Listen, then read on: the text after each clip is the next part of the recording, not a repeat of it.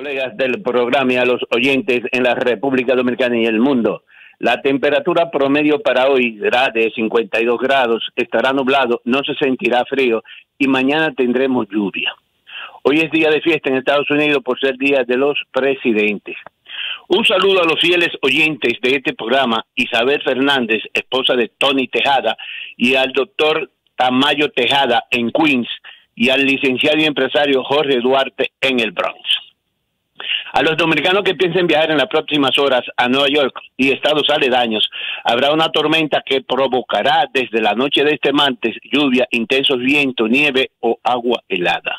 En otra información, el Consejo Municipal de Nueva York aprobó recientemente a unanimidad el cuarto proyecto de ley, el cual obliga a los desarrolladores de vivienda a aplicar un diseño universal, es decir, que tengan adaptaciones y facilidades para que estos espacios sean accesible para todos, independientemente de su edad, capacidad física o estatura. Además, el comisionado de transporte en esta ciudad de Nueva York, y Dani Rodríguez, se encuentra en la República Dominicana, invitado a participar mañana del reconocimiento que le hará el presidente de la República, Luis Abinader, a Negro Santos, productor del programa Despierta América, que ha sido por décadas enlace cultural entre Nueva York y la República Dominicana. Asimismo, y Dani participó en el día de ayer como invitado especial del Carnaval de La Vega. Ah, también debemos informar que entre los partidos políticos en formación que han entregado los requisitos para su reconocimiento ante la Junta Central Electoral, como lo establece la ley 3318 de partidos, agrupaciones y movimientos políticos, se encuentra el partido Nueva Sociedad, PNS, que preside el licenciado Emilio Mercedes, un servidor público, hombre de negocios y político en la República Dominicana. El partido Nueva Sociedad, su misión será rescatar los valores y principios perdidos, principalmente que la madre soltera vivan con dignidad, que los jóvenes estudien y trabajen, entre otros objetivos. Además, la policía persigue a un desconocido de aspecto hispano que hace un par de días vio a una mujer en un licor, en el interior de un licor de toa, entró y ese licor está, está ubicado en la avenida Clason con Utica en Brooklyn. Y la fémina presenta un trasero grande y bien presentado. Se le acercó por atrás y ¡ñau! Lo agarró con las dos manos durante unos segundos. La mujer hispana solo atinó gritar ¡guay, guay! El maniático enseguida abrió gas. En el área residen varias familias dominicanas.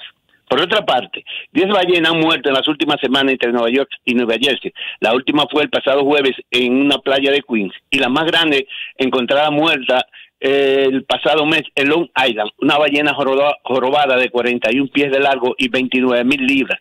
Los ecologistas solicitan al presidente Joe Biden una investigación federal. Asombro. Un caimán de unos dos metros fue capturado este domingo en una laguna de Prospect Park en Brooklyn, por donde adultos y niños caminan próximo a su orilla, entre ellos dominicanos. No hubo heridos y se cree es una mascota liberada por un dueño desconocido. El reptil fue llevado al Centro de Cuidado de Animales de Nueva York. También, la Oficina de Presupuesto del Congreso dio a conocer un reporte que advierte sobre la severa reducción de fondos del Seguro Social que podría afectar dicho beneficio para los estadounidenses. Se trata de la peor crisis desde hace 40 años, por lo que el Congreso debe actuar. Eh, por otra parte, la Administración de Seguridad de Transporte de Estados Unidos confiscó el año pasado 6.542 armas de fuego en los distintos aeropuertos del país, incluyendo los de Nueva York. Asimismo, más de 16 millones de verificaciones de antecedentes se hicieron a personas en el 2022. El aeropuerto de Atlanta, uno de los más concurridos del mundo, con aproximadamente 85 mil personas que pasan por los puntos de control, las autoridades incautaron 448 armas. Por último, policiales.